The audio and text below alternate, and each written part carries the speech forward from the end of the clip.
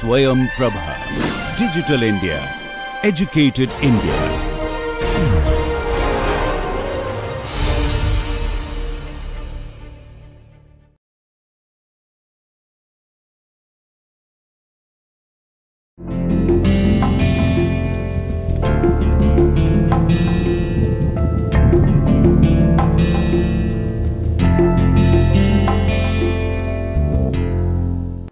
Let us start this lecture um, by recalling what we had learnt in the last few lecture. I had uh, given an introduction to the ancient Indian and science and technology and I am trying to impress upon you people that we had a very good heritage of the ancient, uh, there is a very good heritage of the scientific, scientific heritage we are having and we should try to learn and uh, also address the problem faced by the modern science and technology due to the wrong philosophy of right life and also the philosophy of science and technology is against the mother nature.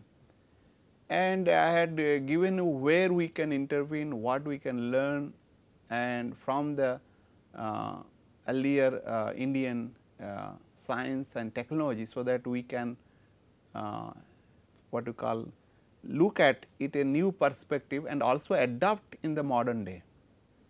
And uh, today we will be looking at agriculture therefore, uh, let us start with the thought process that is agriculture is the foundation of human civilization. If you look at like uh, that uh, we are being told that people were living in the jungles like animals particularly the man but later on they learned how to uh, cultivate and they settle and then civilization start that is the fulcrum or that is the starting point of human civilization. Therefore, agriculture plays an important role and uh, if you look at our scriptures that agriculture is very important because anna pratishta deva even the god has to rely on the food. So, food is very important and uh, what we will be looking at here in this what are the technology available in ancient India particularly pertaining to the agriculture means farming. And we will have to see how we can adopt it is, but before that we need to ask certain question. Why do we give importance for agriculture in India? Since time immemorial I mean if you go back to the even like uh, starting of the civilization in this country which is around what we have looked at historically like 8000 uh, before the common uh, uh, era kind of things. Uh, so, therefore, why can anybody tell me like why we need to give that much of importance to agriculture? Why not we will be on service sector or some manufacturing kind of things? Because food is a basic need. Yes. So it has We can always uh, you know import. I mean there are several other countries who rely on import of food at this moment. Why we cannot? Any idea? And we will have to see that what are the you know land, what kind of land we are having, what are the natural resources we are having and how those things are conducive for cultivation. So, that we will be looking at because I have already discussed some of the things I am repeating because you have not kept in mind that is why I was thinking that repeat again. India has 52 percentage of cultivable land as compared to the world average. You can say that it is the what to call food house of the world that way that means it is she is having or the India if I say as a mother you know like always we say mother India. So, she has the you know capability to produce the food to provide us food and food is important. Beside this for the cultivation for any plantation or trees we rely upon the sunshine because that is the energy being captured by the all fauna you know or the plants because that energy is converted into you know through photosynthesis and then we use it for our energy need of the body. Okay? Because if you look at whole this thing is energy only right energy and uh, what you call information that is the main thing what uh, we do sustain the life and so also the other things. So, sunshine is very important and this we are endowed with that because being a in the semi tropical region. And we also climate is very important for cultivation. So, we are having something 15 major climate region. Therefore, varieties of the plants we can having. The biodiversity is quite you know phenomenal in this case. 10 biodiversity regions are in this country. As I told earlier India is not a country. It is a subcontinent. Okay? It is not a mere country because of biodiversity because of this various major climate regions and we are having endowed with a lot of also fauna and floras of course, this number I have little bit changed than the earlier one that is over 8 lakh 71,318 species of fauna we are having. So, he is a quite a bit number. Of course, due to the human interventions and due to the uh, what you call abuse and misuse of the modern science and technology in the name of developments, adopting the unsustainable and uh, what you call anti uh, nature, mother nature, we are spoiling it and we should keep because the life all are connected that is the our scripture always talk about. And similarly 47,000 species of flora found in India and there might be much more than that and uh, of course, uh, I will show you that this I have taken from some uh, resources because the number I was doubting. So, and then I found out look that is taken from reference I will show you a little bit later on. And India has the largest livestock populations which is uh, you know um, quite good for our uh, meat of the need of the milk and then you know other uh, kind of things like as a food also.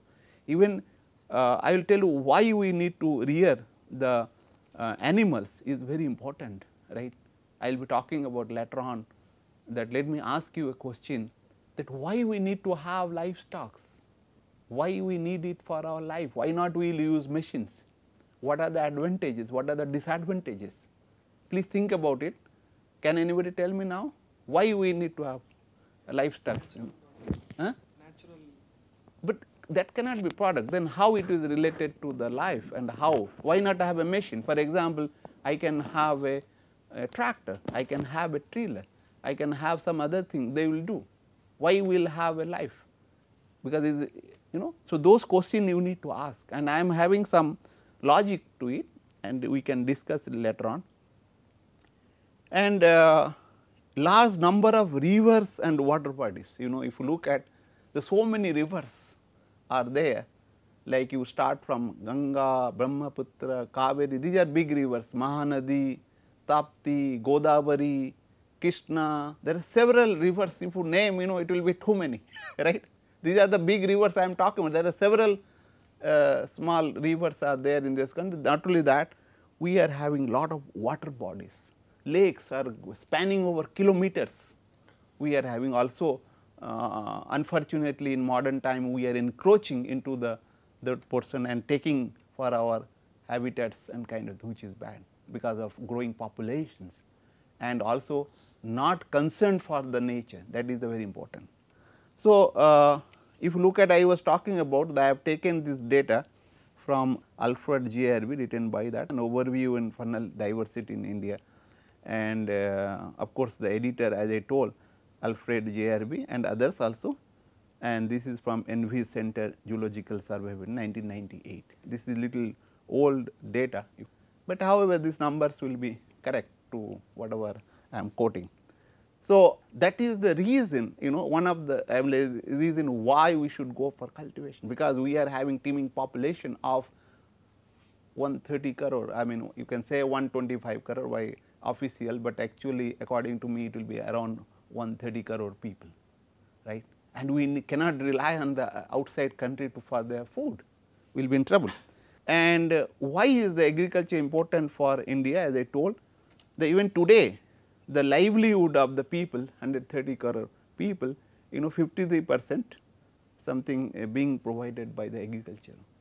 Although uh, and in spite of that still we are uh, finding difficulties to having you know um, laborer for the agriculture. That is the problem today we are facing in the village area, rural areas or the villages. And this is accounts for 16 percent of GDP. Let me tell you it has been lowered down because of uh, fact that services are increasing. I will show you a diagram maybe it will be uh, tell you. If you look at agriculture was the highest in the 1950 something 50 percent of GDP was from agriculture and uh, industries uh, was something around maybe 18 percent roughly you know if you look at this diagram. Then it goes up and then you know goes uh, up. And then of course now it is going up little bit. It is data is still 12 uh, 2010 you know 16 maybe little higher because a lot of importance are given for manufacturing with the new government in the center. And uh, the of course the service sectors has been increasing at a rapid rate, but it can fall at any time because we are depending on the uh, foreign countries for that.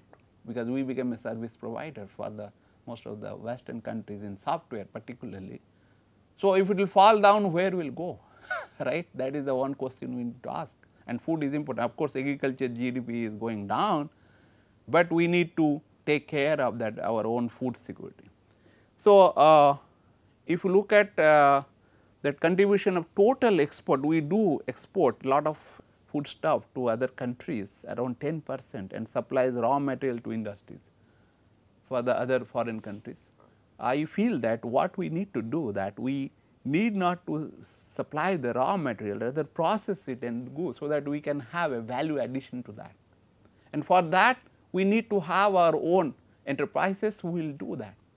Okay and in modern time particularly lot of multinational companies are coming and then they are doing business and we became a you know what you call uh, um, consumers and also we are uh, going and doing a job. I would call upon of you all of you to become entrepreneurs and generate you know uh, value added products and then sell like we can sell to other countries and become richer and then get gain something you know wealth for our own country and for our own sake. So, therefore, we need not to be a job seeker, we should be job provider that should you should be keep in mind and lot of things we can do that. And growth rate in agriculture production of course 5.7 percent this data is from 2000 you can say 10 or uh, 11 and 12 kind of thing and food grain production is something 252.56 million tons. It is in 2011-12. Now, it might have gone up a bit. This data you know I am giving to have a feel that what we are having you know like and what is the potential how we can grow and other thing and why you will go for agriculture that is the thing to make a point. You need not to worry about uh, you know like exact data, but you can see the exact data. And if you look at total geographical area, what we are having is uh, 3 to 9 mega hectares and potential for biological products 265 mega hectares. Net sown area is 143 mega hectares. We can have also increase this land and net irrigated area is very small that is 56 mega hectares. Area threatened by land degradation 50 percent of this TG what is the because of wrong method of cultivation and also the industrializations you know our soil is being getting spoiled and of course, the drought prone area is 190 mega hectares, but uh, what I am thinking that it can be changed provided if we have a relation develop a relationship with the mother nature. Uh, I mean like if we make our system integrated and uh, sustainable then we not have this problem, we can manage well. These are all according to me drought prone area is a rather man made. In other words, if you understand the nature and work with her to do that thing, then you know we will do not have that. We, as you go along we will be discussing because I will be talking about the natural farming toward the end of uh, this series of lecture on agriculture right. So, uh, therefore, the agriculture plays a major role not only in economy, but also that is the foundation of national life.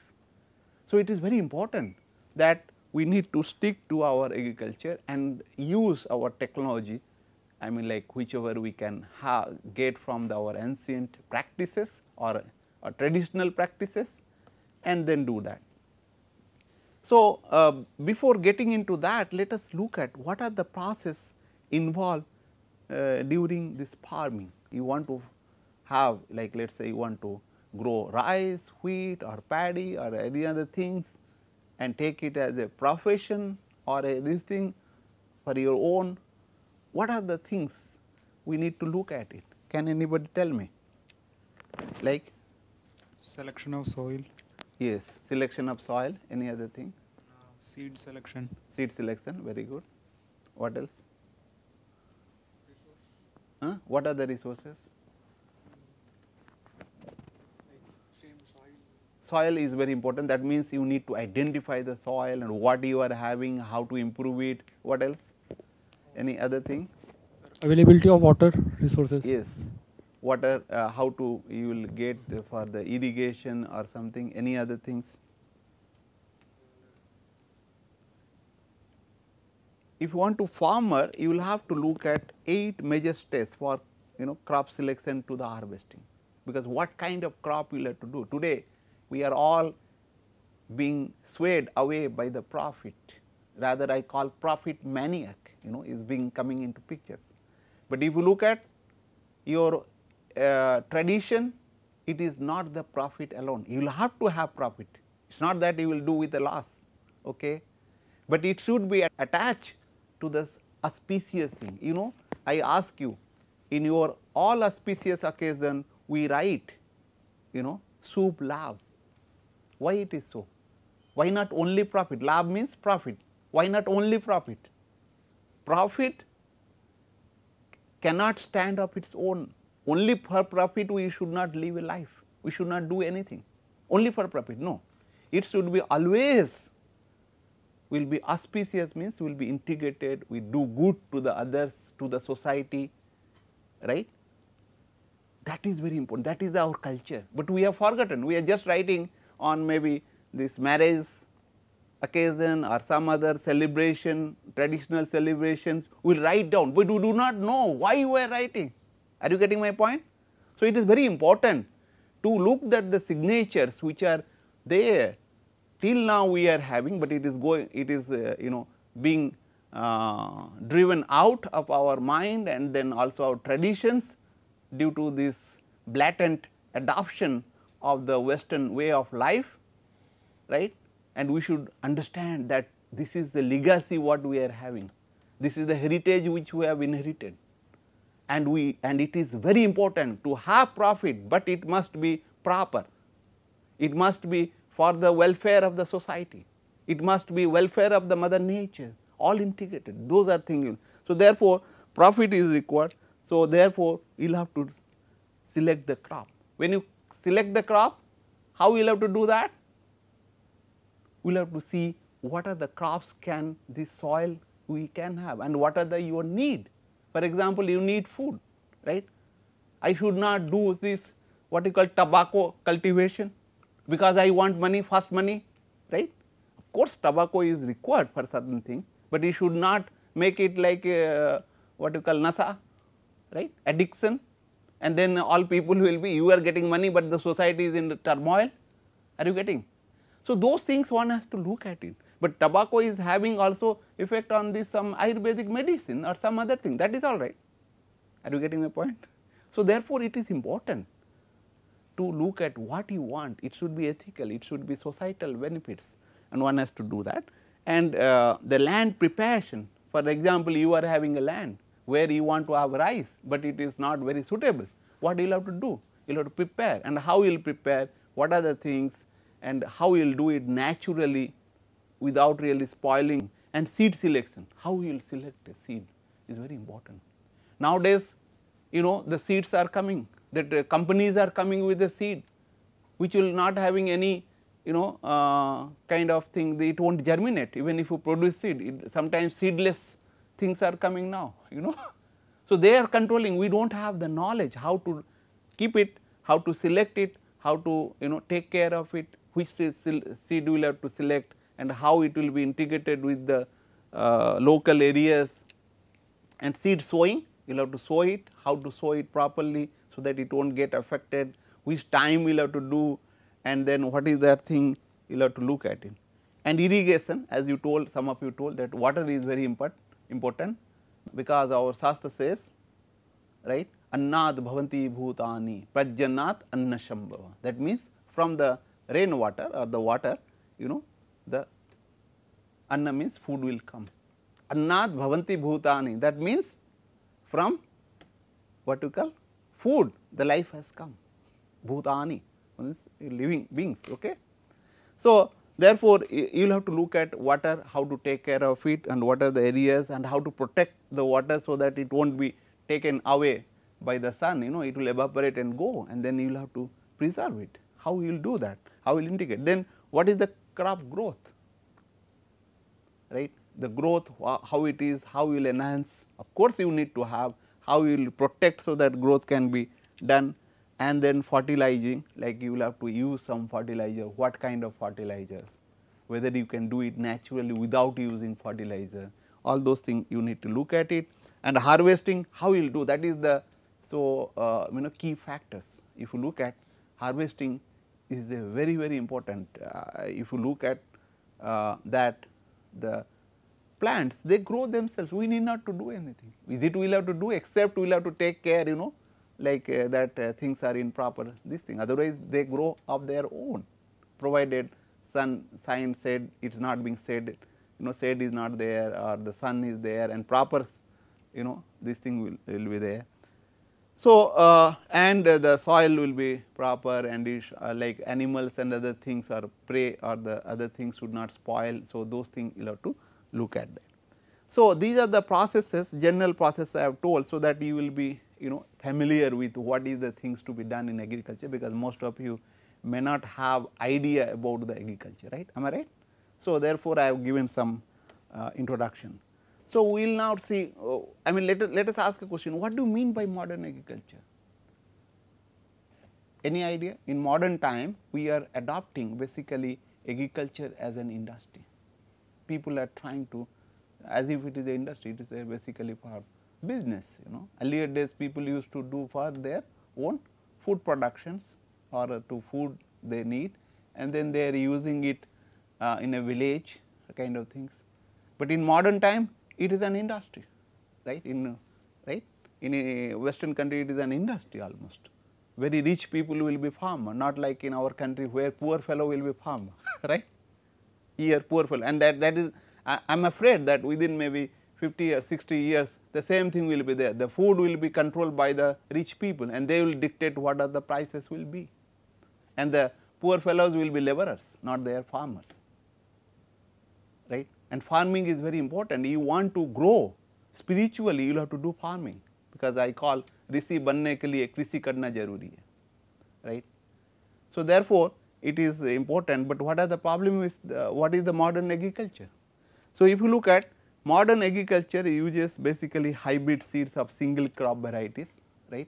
They use hybrid seeds or a, a technologically advanced equipments like tractors, tillers, shredders, rice transplanter, fertilizer spreaders, you know extra lot of things gadgets you will have to use and uh, fertilizer, pesticides and water like you know by the modern irrigation system to produce large amount of single crop. If you look at even in India today, rice only rice are there, you know, only wheats are there, you know. So, that is not really right thing because if you look at nature, if you go to a jungle, what do you see? Is it that only uh, this will be there, only one crop, one plant will be there? No, all together. So, therefore, the togetherness is very important, right. So, nature works in that way. If you look at animal will be there, insects will be there and then plants will be there together is the nature. So, similarly plant kingdom also like that. So, but whereas the modern you know you want to have, so therefore you this thing, so and you use this uh, various gadgets. And as a result the energy cost you we use a lot of energy. Energy means you know like basically fossil fuel we use for getting energy. And then plowing for plowing we use we will be using the tractors for you know uh, like a plowing.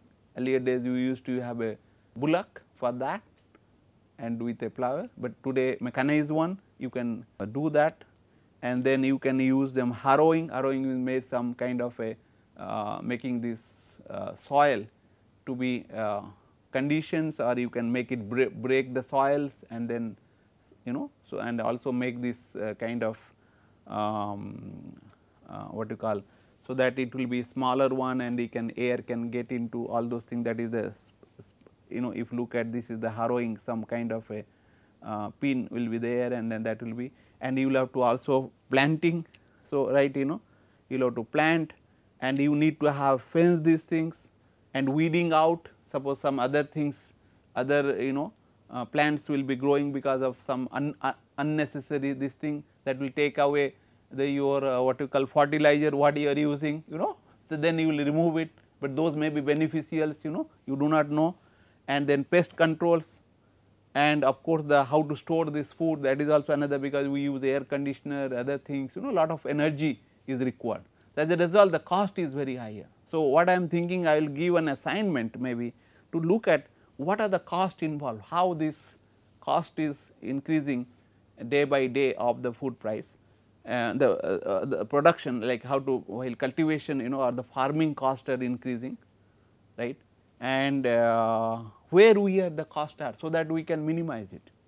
And in India we do not need really very big machines because we are having a lot of people and then they can work manually or little bit small ma machine they can use which is not consuming the or guzzling the you know what you call energy uh, either electricity or the diesel or the petrol kind of things or the any other uh, fuel. So, that uh, we can and also once they will work they will get also physically fit. They need not to go for a walk or a, for a run and then do that thing for maintaining the body. And these are all wrong notion that therefore, one has to use that thing. And uh, if you look at characteristics of modern agriculture, it has a higher level of input because you are giving a lot of energy or a lot of cost in involved. You have to buy these uh, pesticides, you have to buy these fungicides, we will have to buy these fertilizers, we will have to buy the seed also right.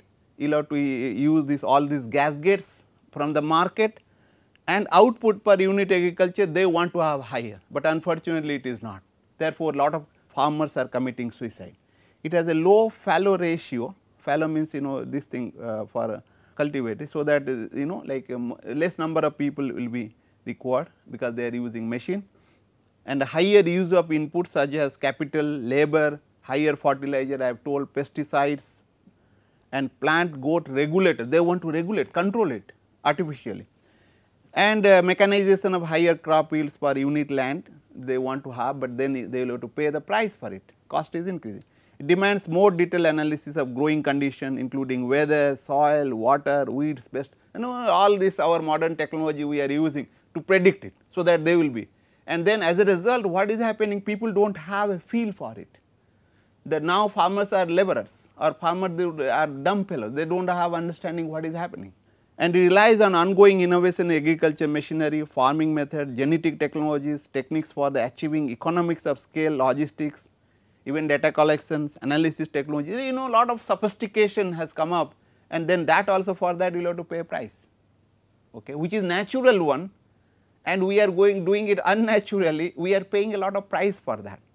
So, that is the problem with the as a result you know it is a very costly affairs. So, what I will say that we will stop over here and uh, we have seen that what is the uh, what do you mean by the agriculture and what are the processes involved in agriculture and then we we'll we also looked at why we need to go for agriculture in our country and we have also seen what is the methodology adopted for modern agriculture and what are the fallacies right we will stop over here. Thank you very much.